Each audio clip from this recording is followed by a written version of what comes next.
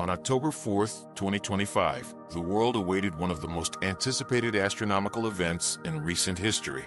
3I Atlas, the mysterious interstellar object that had fascinated scientists for months, was set to make its closest approach to Mars. Every major space agency had their instruments locked on it. Mars orbiters stood ready, the Perseverance rover was active, and researchers worldwide expected a surge of fresh data. However, just as the object came into view, NASA's servers went offline. Their official website flickered before disappearing, replaced by a simple notice, under maintenance. Initially, most assumed it was a server overload due to massive web traffic. But then, the European Space Agency's site went dark too. Hours later, China's space data portal also stopped updating. Three competing agencies, NASA, ESA, and CNSA, all going silent at the exact same moment. Days passed with no updates, sparking widespread speculation.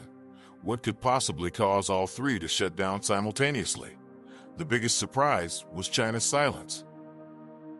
For years, China had prided itself on outpacing NASA in transparency, often being the first to release raw data, results, and public announcements of discoveries. Yet this time, there was nothing. That silence might have remained a conspiracy rumor until one image surfaced, a raw photograph from Perseverance's right navigation camera. It hadn't been transmitted via NASA's main servers, but instead uploaded through a backup relay before the shutdown. The timestamp read October 4th, 2133 Martian local time. It captured Mars's night horizon, showing something hovering above it. It wasn't a glowing ice ball or a comet tail. There was no dust, no irregular edges, only structure, precise, clean, and disturbingly artificial. Within days, independent observatories analyzed the image and confirmed the object reflected sunlight like a polished metal surface. Its cylindrical form measured roughly 46 kilometers in length and 12 kilometers in diameter, with perfect symmetry. Natural objects of that size normally have dents, fractures, or craters, but this one was flawlessly smooth. Experts initially dismissed it as motion blur, an illusion caused by the camera's exposure time, but that theory collapsed almost immediately. The NavCam's optics and shutter calibration are well documented, and even with stacked exposure, any moving object would show a fading trail. Yet here, the light was uniform. No gradient, no blur, no distortion. It wasn't a smear of light. It was tangible and solid, unnervingly symmetrical, far too refined to be natural. For decades, astronomers have known what comets typically look like dirty snowballs of ice and dust, scarred with craters and followed by long luminous tails as they near the sun. But 3I Atlas had always defied that description. Even before nearing Mars, its behavior contradicted all known models. Its brightness stayed constant, its rotation nearly zero, its trajectory perfectly linear, and its velocity, about 67 kilometers per second, placed it on a retrograde orbit opposite to the planetary motions. Then came that image, revealing details that defied every assumption. It wasn't a green haze or any known chemical reflection like previous telescope captures from Hubble or JWST. That's when Harvard astrophysicist Avi Loeb entered the discussion. Reanalyzing the data with Mars's distance factored in, he confirmed its reflective property was unprecedented, higher than any asteroid or comet ever observed. He also noted its thermal output remained unchanged under sunlight. In simple terms, it wasn't heating up. Every comet warms as it nears a star, releasing vapors and forming tails, but 3I Atlas's temperature remained constant, as if maintaining internal control. To Loeb, only two explanations existed, both deeply unsettling. Either the surface was made of an unknown substance, one capable of reflecting nearly all sunlight like a perfect mirror, or it had an internal mechanism regulating heat. In other words, it might be active, not inert. Either possibility defied physics as we know it. Then came the age dilemma. Based on its composition and velocity, Loeb estimated 3I Atlas had been moving through interstellar space for tens or even hundreds of millions of years. At that speed, its survival was nearly impossible. Space isn't empty, it's filled with radiation, charged particles, and dust moving at destructive velocities. Even a tiny grain of sand striking a spacecraft at 80 kilometers per second could vaporize it. Every known cosmic body bears the scars of such impacts craters, fractures, pitting, and erosion. But 3I Atlas displayed none of them. Not a dent, not a mark, nothing at all. It is flawless, seamless, untouched by time, as though whatever substance composes it was crafted not merely to survive the cosmos, but to defy it entirely. That was when scientists began re examining its form. Why a cylinder? Why not a sphere like most natural bodies? According to Loeb, the reasoning was as unsettling as it was. In both engineering and physics, the cylindrical form represents the most efficient structure that nature and technology can create.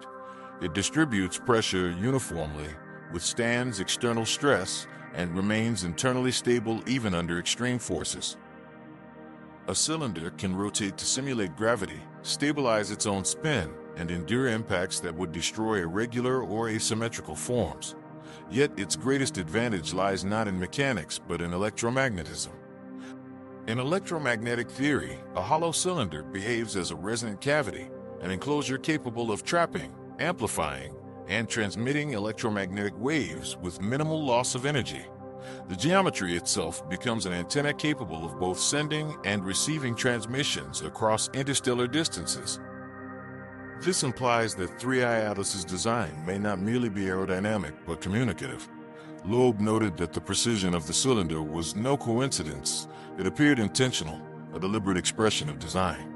Structurally, the cylindrical geometry remains the most resilient and efficient ever conceived. Its symmetry spreads force evenly, enabling it to endure erosion, gravitational strain, and even high-speed collisions without breaking apart. Unlike spheres or irregular forms, a rotating cylinder can maintain equilibrium, generate artificial gravity, and preserve internal conditions with minimal distortion. The most striking revelation, however, came from its electromagnetic response. In radiophysics, a hollow cylindrical shape is known as a resonant cavity, a natural amplifier for electromagnetic energy. It can store, modify, and re-emit radiation with remarkable precision, acting as both transmitter and receiver. Such geometry is ideal for preserving signal quality across vast distances, particularly at specific cosmic frequencies like the 1.42 GHz hydrogen line, a universal marker used in deep space communication. For Loeb, this possibility wasn't far-fetched. If 3i Atlas was indeed technological, its form might enable it to exchange information over light years, not by brute force, but by exploiting resonance itself. In essence, the object might be communicating in the language of physics, the universal code of the cosmos. This same design could explain its haunting steadiness. Cylindrical bodies can naturally align with surrounding magnetic fields, using the interstellar plasma that fills space as a means of propulsion. By interacting with magnetic and electric fields, the structure could subtly adjust its path or orientation without expelling any propellant. Such a mechanism would render traditional engines obsolete. It could, in theory, navigate indefinitely, guided by the very fabric of the universe it travels through. The implications were staggering.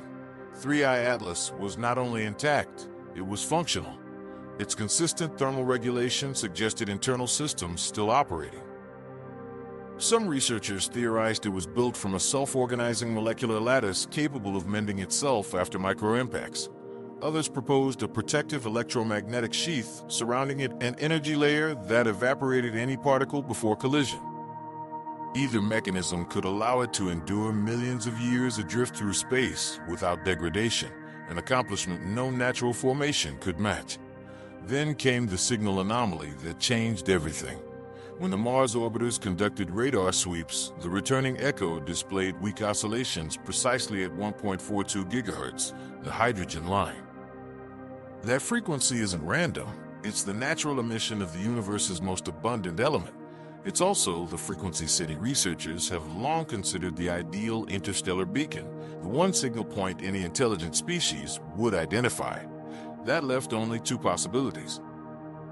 Either 3I Atlas is composed of material with electromagnetic properties unlike anything known to science, or it operates as an active transceiver, a device engineered to survive the cosmos, gathering and transmitting information through the hydrogen frequency that unites the universe itself. Perhaps that explains the silence from the space agencies, not necessarily concealment, but confusion. What do you even tell an entire planet when you realize something out there has been observing you for longer than humanity has existed? How do you explain a machine that seems built to endure eternity? So, what do you think truly appeared near Mars? Was it a comet or something infinitely more extraordinary? And why have all the agencies remained quiet? Share your thoughts below, and don't forget to like and subscribe for more updates on 3i Atlas.